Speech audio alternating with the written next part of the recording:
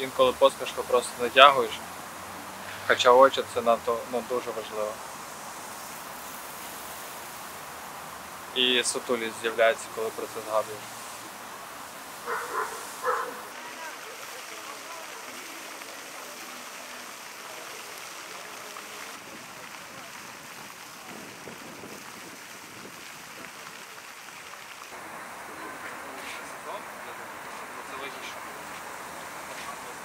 Саме страшне було, коли тобі погрожують зброєю, знімають з запобіжника і кажуть, ну все, типу, я зараз тобі прострілю колінки і ти стечеш кров'ю за гаражами.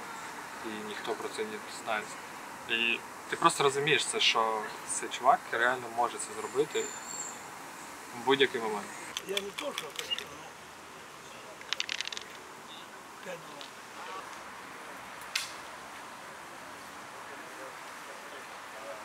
І вони, блядь, не могли повірити, що я реально не, не військовий. І мене рятувало те, що в мене реально не було ніяк жодного контакту ні з Азовом, ні з СБУ, в телефоні вони не знайшли. Хоча я перевірили, скоріш за все, весь контакт. Одразу в інстаграмі всі переписки почекав. Сказали, що в мене гарно виглядає моя дівчина колишня.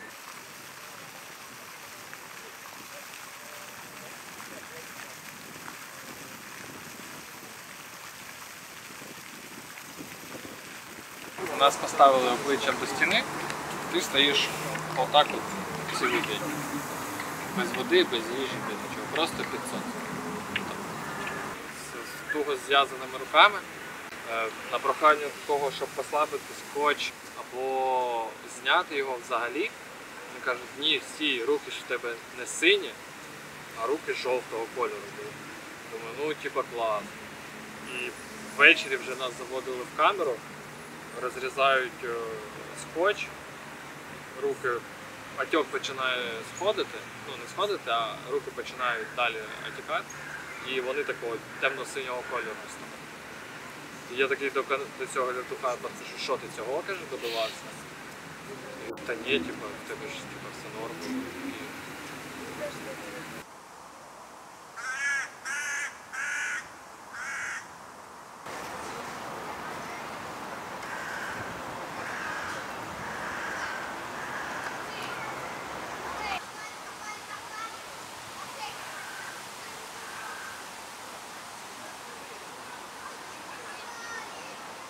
А потім вони питають, ну, типу, як ти тут опинився, ти ж кажеш, що ти волонтер.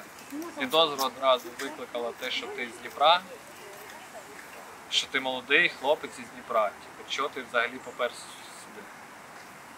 Ти розповідаєш, що треба людям допомагати. Вони кажуть, та ні, почекай. Зараз ми дізнаємось всю правду матушку, так? Да? Да. Сказали роздягнутись.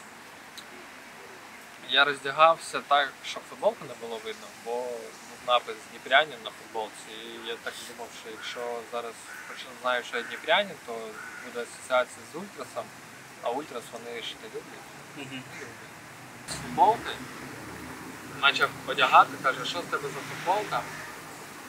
Я показую їм напис, і вони кажуть, а, так ти Дніпрянин. А чого ти типа на сектор ходив? Людей бив. Чувак просто починає мене душити, бити по обличчю і питати, типу, чи боляче тобі? Боляче. Він мене відпустив, бо забігли його керівники і сказали, щоб він не чіпав моє обличчя. Далі вони зв'язали скотчем руки, почали просто прибивати автоматом, приклади автоматом.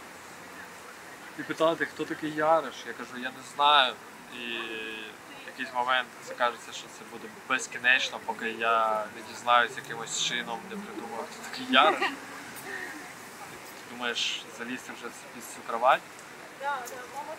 Конвої, ну, цей слідчий просто зупиняється в якийсь момент, розуміючи, що я дійсно не знаю. Він, він мене бив, і в нього обличчя змінювалося. Тобто він мене б'є і не розумію, чому я відповідаю, не знаю. Хоча це така лайтова відповідь є, і думаю, і наші.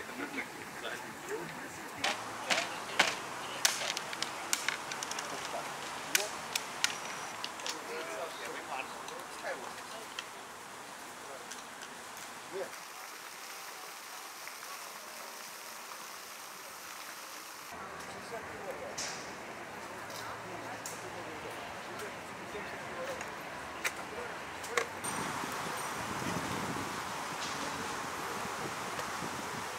Пропаганда насправді сильна штука.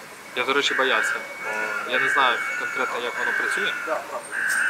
І тому думаю, на всяк випадок буду згадувати кожен день славу Днем України. Щоб не забути. Бо ти спілкуєшся російською постійно, тебе примушують до цього.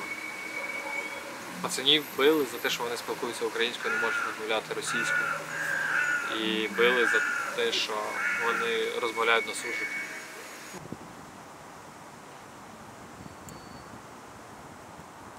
Здавались хлопці з Ілліча. Це перше, перші 805 морпехів. Здається, 33 або 36 бригада. І їм влаштували гарячий коридор. Ми тоді повз них їх барак ходили на їдальню.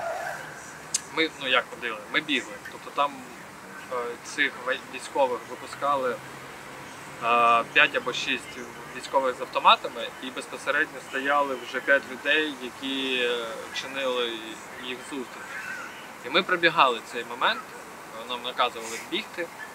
Ми пробігали, але ти ж все одно чуєш, що- там відбувається. І кажуть, кожного по одному виводили і кажуть, ну як кажуть, не кажуть. Наказують виходити, і людина примусово виходить в цей коридор, там, де була плє- плеть, пльотка, ремінь, е, один в тактичних рукавичках стояв, дубінка і монтіровка. Просто залізний прут, яким херачили цих е, морпехів. І якщо вони падали, їх е, били, поки вони лежать. Якщо вони кричали, їх били, поки вони кричать. І їх закинули в цей барак, їм місця не вистачало, вони стояли постійно на вулиці 24 на 7, е, полуроздягнені половина їх, або ходили колами по цьому бараку, ну ми були був час, коли бачили. Їх не годували, не давали воду, нічого. Бо був випадок, коли ввечері їх вивели, і вони стояли біля нашого бараку, і в нас була можливість віддати їм воду. Ми набрали, ну не, ми, а Ніколаївич. Кашений Ніколай Ніколаївич. Е, Набрав води, дві пляшки віддав цим барбекам. І було дуже видно, що вони не пили, ну не те, що пару годин, а вже досить давно. Це приблизно добу ми чули, як е, людський вій, глухий людський вій.